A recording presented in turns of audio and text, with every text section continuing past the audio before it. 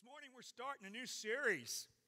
We have moved from the seven letters, and boy, that was encouraging and hopeful, and yes, it was tough. And hey, here we are moving into a new series uh, taken predominantly from Jesus' Sermon on the Mount. You know, Jesus was and still is a controversial teacher. He said and did things that upset people. And moreover, you know, he, there was no compromise with him. Like it or lump it, it is his way or the highway. And sometimes that just really doesn't sit well with us.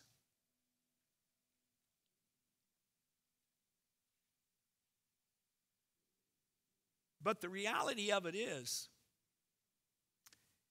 Jesus is God, and what he has to say comes from the very heart of God. So he speaks as one who not only does have authority, but is the authority.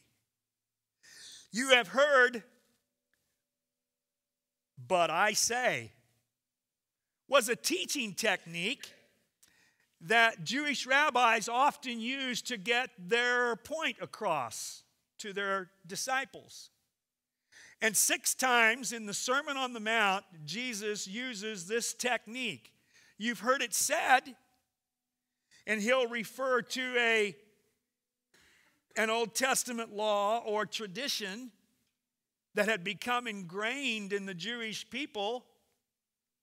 You've heard it said, and then he takes that puppy and flips it almost upside down and says, But I say. But I say. Six times in Matthew's gospel, one time in John, and we're going to engage all seven of them as we move towards our Easter celebration on Resurrection Sunday. Throughout these seven weeks, I pray that we'll not only hear this controversial teaching, but that we'll commit ourselves to live it out as we follow Jesus. That we'll actually put this into practice, and that is where the rubber meets the road. Jesus was often called rabbi or teacher by, by those gathered around him. The difference between him and other Jewish rabbis and other Jewish teachers who, who carried a similar title was this is Jesus, this is God, and he who authors the word is the one with the authority, the ultimate teacher. And he is, as we learned in the seven letters of Revelation, the Amen. So he's the last word. He has the final say.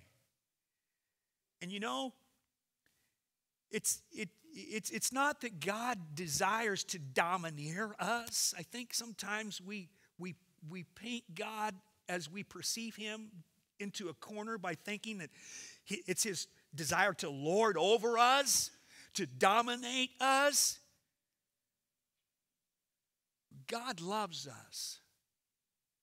And God, like a loving parent, knows what's best for his children. He sees what we don't. He knows what the keys are to living life together. And so, he doesn't pull back in teaching us what's good for us. He not only teaches us by telling us, but he demonstrated how to live it out in the life of his son, Jesus Christ. These controversial teachings that Jesus shares with us in these next few weeks, Jesus lived them. And you say, well, that's Jesus. Yeah. But the same Spirit of Jesus Christ is in his believers. And it's only by the power of the Holy Spirit. I got this pointer. I hope I'm not pointing it at you. I'm going to try this today. That same power is the only way that you can live out Jesus' controversial teachings in the Sermon on the Mount. It's the only way that you can truly do it with any lasting impact and any lasting uh, obedience. So, Holy Spirit, we again open our hearts to you and we ask you to come and reside in us, fill us completely, and move us, oh Lord, Holy Spirit, to follow, to, to learn from you, to allow you to teach us and to guide us, and to give us the courage to obey you.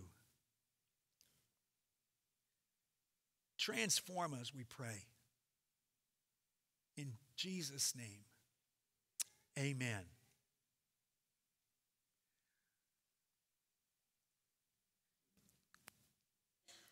What makes you angry?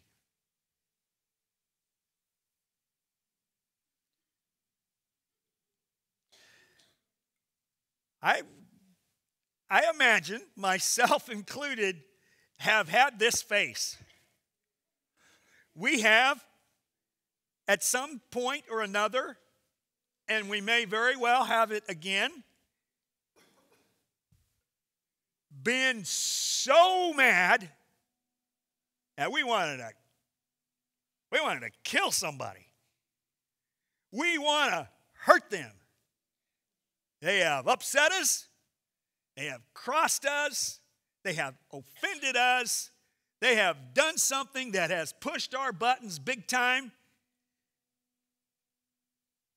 And we've had it. Now, to kind of get us on the same page, is I want you to give me some of your thoughts about what makes you angry. Let's, let's work from the same definition here. The definition of, of anger in, Merriam, in Merriam-Webster's dictionary, Merriam-Webster's dictionary is this. A strong feeling of being upset, we look like that guy. Or annoyed because of a wrong or bad thing. The feeling that makes someone want to hurt other people. The feeling that makes someone want to hurt other people. What makes you angry? Give me a, give me a little feedback here. What makes you angry? Pardon? The boss. The boss. Okay. There's a few of you chiming in there now. Yeah, I know that dirty, rotten scoundrel. Bad drivers, Steve says. What? Yeah. 25 and a 30. 40 and a 65. What in the world are you even doing out here? I, I, one of my bosses on the highway patrol way back when used to, and I think he was serious, used to say, as he'd get behind somebody who was just absolutely Uh, making a mess of the roads, he'd say, Well, I don't know, what do you want to do today, Ma? Oh, okay, Paul, how about we go downtown and mess up traffic? Bad drivers. Pardon? I heard someone. The way treat people treat each other makes us angry. Bad drivers, bosses. Well, you know, I some of these are on the top 10. We're going to take a, we're going to take a look at what are, are, at least according to one internet source, the top 10 things that make people angry. Let's start here with uh, number 10, your boss. Eric, your boss. That makes us angry. And sometimes we just want to hurt him or her. People talking during a movie. Yeah, I might add to that when I'm sitting there in the theater and I've paid 10 bucks for this ticket and I've got my popcorn and the light of their cell phone is blinking. Number eight, people talking to you while you're trying to work. Uh, excuse me, can't you see that I'm busy? Number seven, kids. It makes people angry. Screaming children makes people angry. Number six, nosy people. Why don't, for goodness sakes, you just mind your own business? Ah. Number five, liars and lies. We just hate to be lied to. It's offensive. And you know, a half truth is a whole lie. It just ticks us off. Number four, bad drivers. There you go, Steve. Yeah. There's been, uh, there's been times since my, my, my post highway patrol days that I would like to have had those red lights on my car. Number three, I thought this was interesting slow loading screens. I guess people get angry over that. Dee Dee was telling me this morning that that's if you if you want to know if this person's going to be a good mate for you, put them on the computer and see how they respond to the computer not working right. Perhaps so. I, I can't say that I've ever wanted to hurt anybody over a, a slow loading screen. I get frustrated and I'm a little bit impatient, but I can tell you once that I hurt a garbage disposal. That stupid thing would not work right. I'd spent way too much time on it, and I finally took it out, had Diana open the back door. My face must have looked like that guy's, and I pitched it as far out in the backyard, looked like a shot put heave, as I could possibly throw that beast. I, would had enough. And you know what? The garbage disposal didn't care. Not what one iota. Uh, Number two, being blamed for something you didn't do. Now that that's upsetting. I mean, because we're innocent. We didn't do that. And then number one on this particular site was people taking credit for your work. I, interestingly, I asked Diana in conversation over this this topic, I said, What, what probably makes you most angry? And, and that was what she said, which tells me she's had that happen before, and perhaps you have too. Things that make us angry, things that, that create in us a feeling of wanting to hurt somebody. And if you'll notice, all of these 10, with the exception of the slow loading screen, all of these are related to relationships. They're all related to other people. And so, what could we add to that list? I don't know, did we miss anything? What, what makes you angry? Did we miss anything?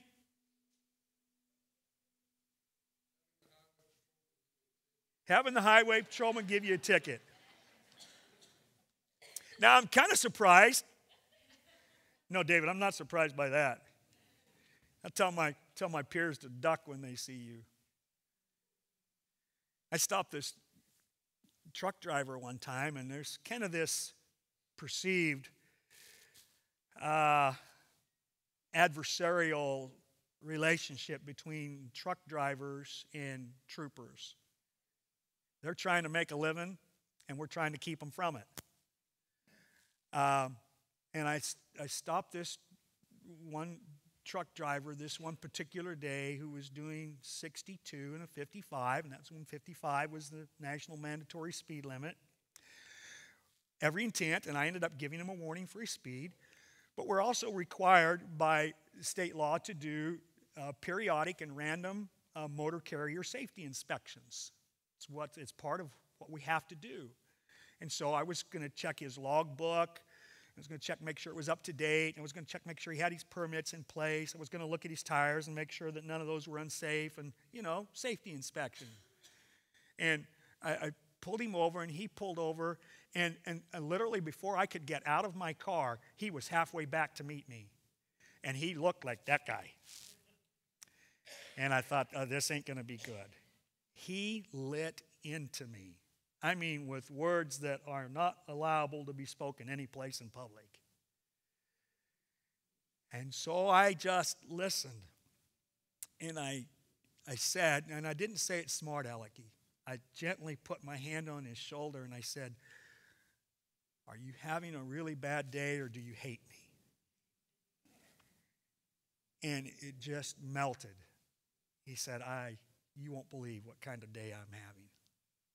Well, I gave him a warning for his logbook and a warning for exceeding the speed limit and sent him on his way.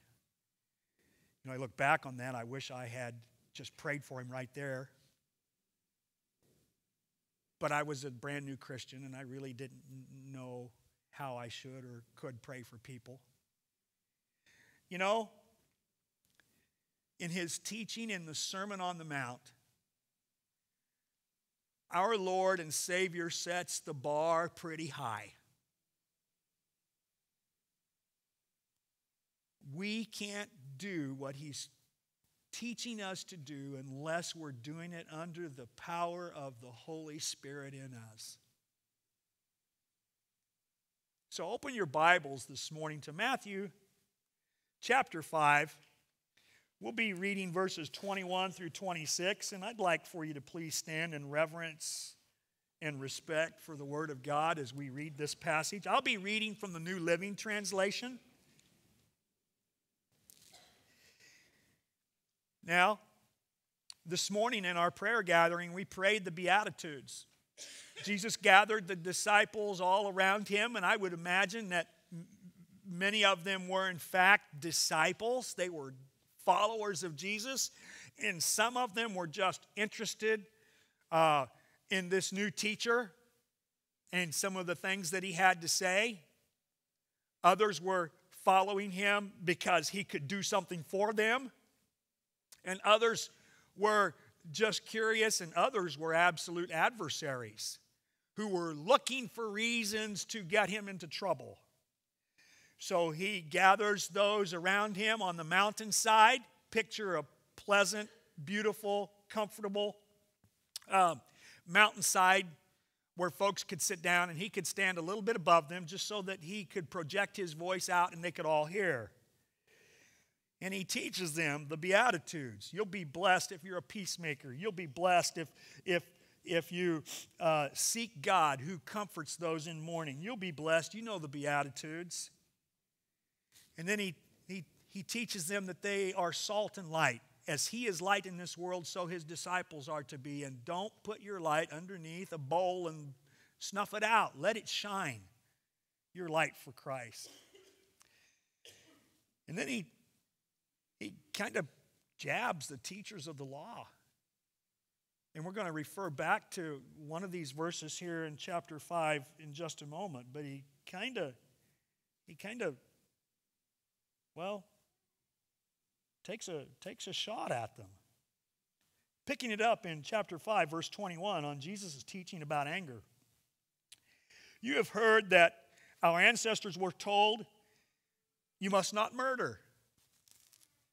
If you commit murder, you are subject to judgment. You've heard,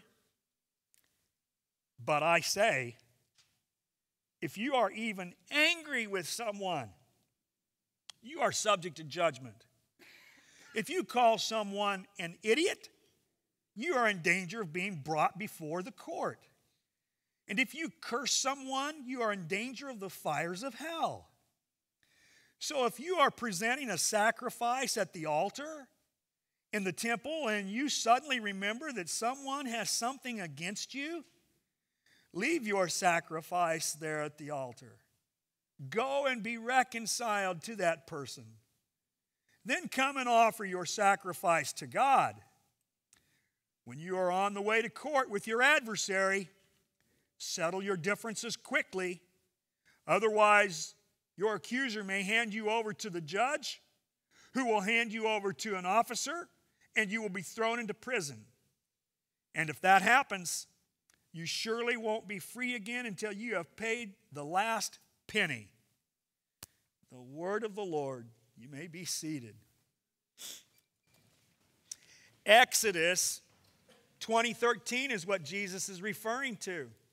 Number six in the Ten Commandments Thou shalt not murder. Murder is still prohibited in all 50 states. And it's still frowned upon by about every world religion, so this is nothing new. You shall not murder. Oh, yeah, there's circumstances where when you're defending your home or and you're involved in an act of, of, of war, and there's circumstances where, you know, we look the other way. Jesus said, You've heard it said, and they'd been hearing this for centuries you shall not murder. Eh, and if you do, you'll be held accountable. Likely there's going to be a death sentence. You'll pay the ultimate price. You know, eye for an eye and tooth for a tooth. You've heard it said that you shall not murder. You might, you might, you might get away with it here.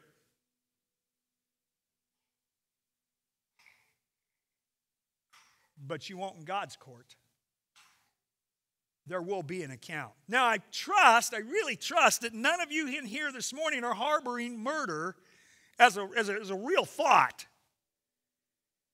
Know, we get angry, but I trust not to, to the level that you really want to do someone bodily harm. But you might be angry enough with someone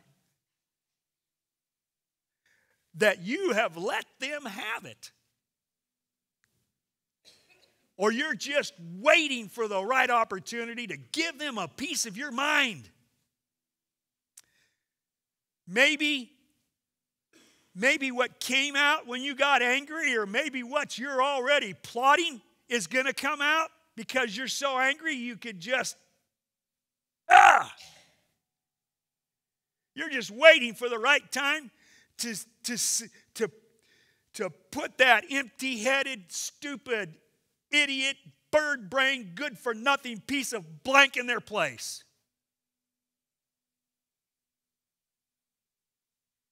And Jesus says that sort of anger is on equal footing with temper of murder.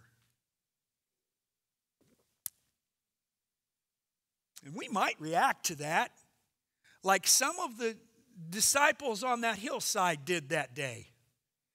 I just, if they didn't say it, they had to have been thinking it because I think we're thinking it. I'm thinking it when I'm preparing for this. And come on, Jesus.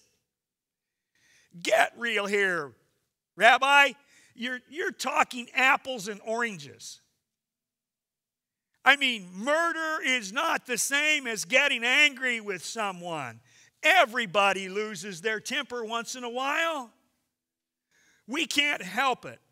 If someone takes credit for our work or blames us for something that we didn't do and we get angry about it, that's on them. It's their fault. And Jesus says to us this morning stop right there, son.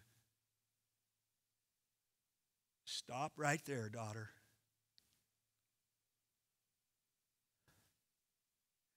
That's exactly the kind of attitude I'm talking about here. That's what I'm confronting here.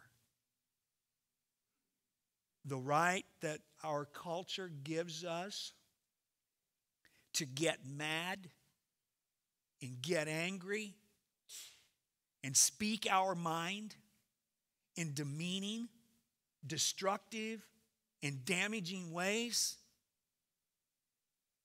that might be culturally acceptable, but in God's kingdom, for his people, it is not. We do not have freedom of speech when it comes to that kind of speech and action. We are accountable to our Lord and to each other. Know, let me make this, let me, let me clear this up in case. Anger in and of itself is not a sin. Anger and the, and the, and the potential to get fiery, mad, and angry and upset, God gives us emotions and feelings. And, and anger in and of itself is not a sin. The motive that gives rise to it is the issue. Okay? Jesus got angry. I mean, he went into the temple and flat ransacked the place. But he was angry over seeing people oppressed and taken advantage of. Jesus got angry. Anger is not in and of itself a sin. The motive behind it is where the rubber meets the road. And Jesus is condemning here a self righteous kind of anger that hurts other people, sarcasm that scars, words that wound, attitudes that abuse and devalue another human being because when we do that to another person, we are, we are saying that what God created in His image has no value. And the Lord will have none of that out of us.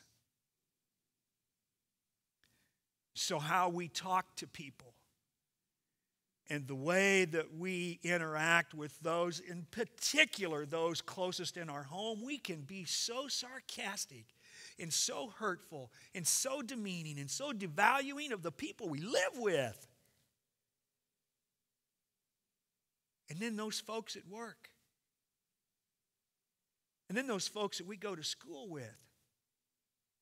And then those folks that we live by whose dog just doesn't seem to shut up. How we talk and interact with people matters in the kingdom of God. Jesus' command here was to go and be reconciled. And that's not new. He, that's, this wasn't earth shattering, groundbreaking teaching from Jesus. How we treat others has always mattered to God. Judaism stressed reconciliation between individuals as, as a matter of honoring God and being obedient. The Old Testament taught that God would not accept an outward offering if inwardly we were harboring grudges and anger against our brother. That, that comes from the Old Testament in Deuteronomy and Leviticus, and even in Genesis, God said to Abel and to Cain, Abel, you brought me a, a great offering. It came from a pure heart. Cain, you came for the wrong reasons. And therefore, I don't accept your offering. So, reconciliation and purity in heart is not new teaching. Jesus affirmed the Old Testament law to be reconciled with others. God only accepts sacrifices offered from a pure heart toward one's neighbor. Proverbs 15:8 in the English Standard Version says this, the sacrifice of the wicked those who are disobedient to God the sacrifice of the wicked is an abomination to the Lord. But the prayer of the upright, the pure, is acceptable to him. If we're angry with someone, the Lord is not going to accept any offering we bring him until we first go and make it right. That's what it means to be reconciled. That's what the cross of Christ is all about. God took the initiative. God who was angry with our sin that had separated from us and broke relationship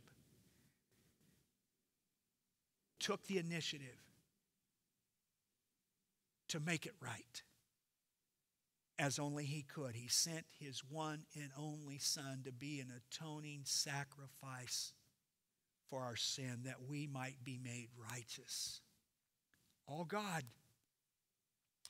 all His initiative. So Jesus expects His disciples to do the same. And it might hurt. It may require eating some crow and swallowing some pride.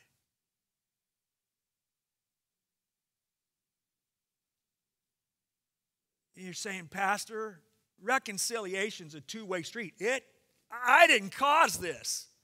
It's their fault. I'm innocent. This passage speaks to both. It speaks to one who is angry with their brother, who has offended them and hurt them, and it speaks to the one who has been the recipient of that.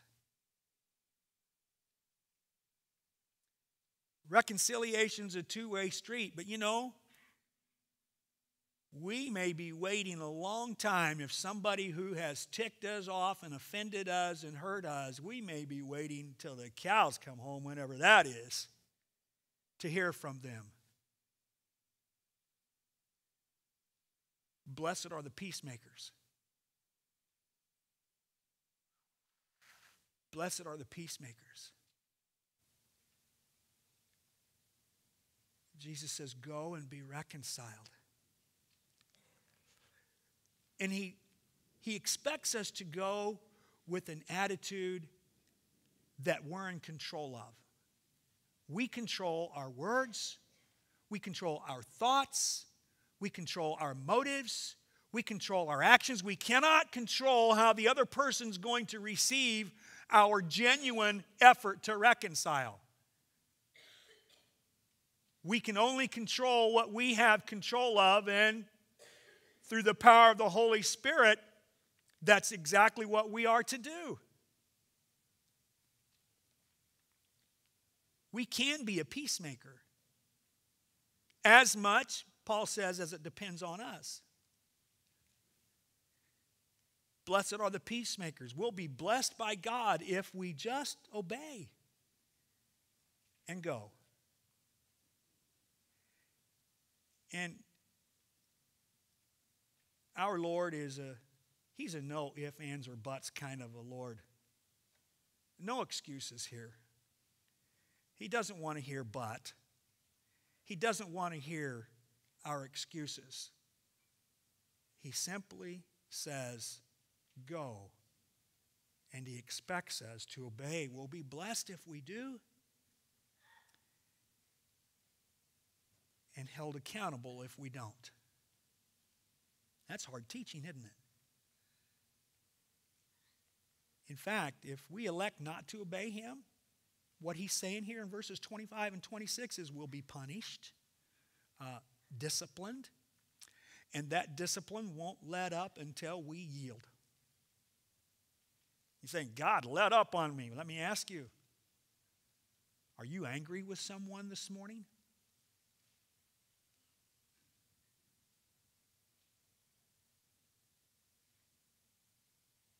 Do not murder is no longer the standard. It's not the standard for getting along with others. You know, I didn't kill anybody. The standard is if you even harbor a hurting thought toward one of God's creation, you're in danger of judgment. And if you let that come out,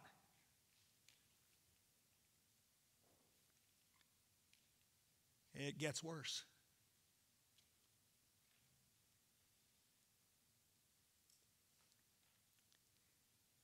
Treating others with respect and dignity is the way of the cross. Being a peacemaker is the way of the cross. Sacrificing self for the purposes of reconciliation is the way of the cross. When, when, when, when, the, when the passage here says, when the passage here says, uh,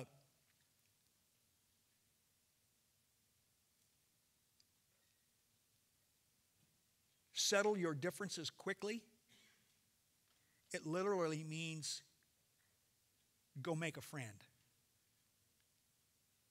You, there's a difference. You see the vast difference. There's a difference between going and settling. Okay, Lord, well, I said I'm sorry and I asked for forgiveness and they won't give it. What, what motive did you do that with?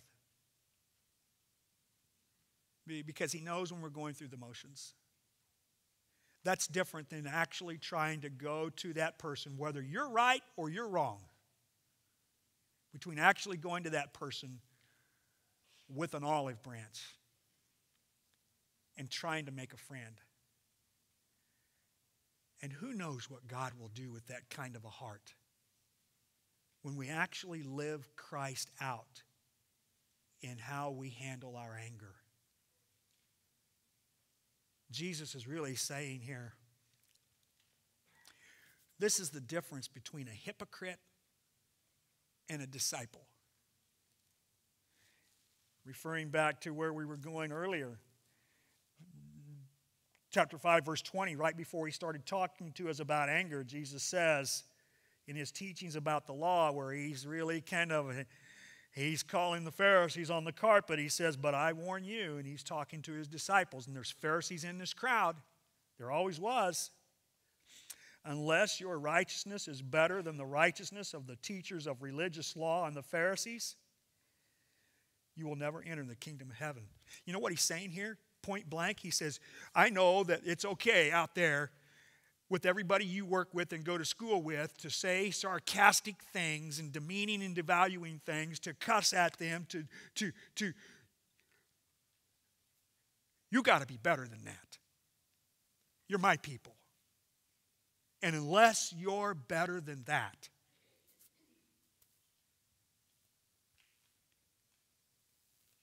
unless you're better than that, you're not my people. And I'm not your God.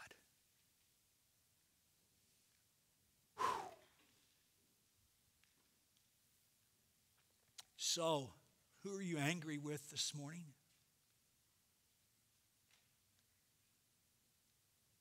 As I asked that question, was there a face or a name that immediately came to your attention?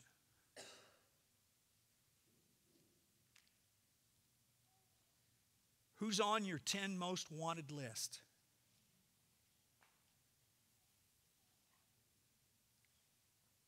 That, come on now, you want to see hurt. Because you've been hurt.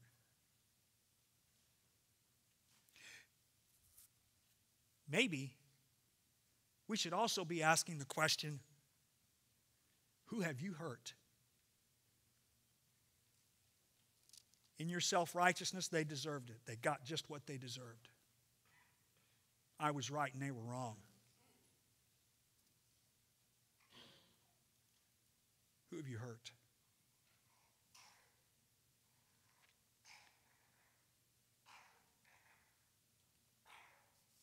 Those names and those faces that have come across your mind just now. Jesus is saying, What, what are you doing here? You can bail me out. There you go. Next slide, Maya. Thank you. What are you doing here?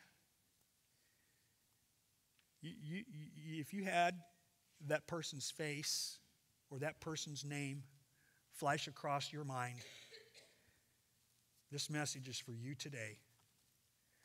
Jesus says, What are you doing here?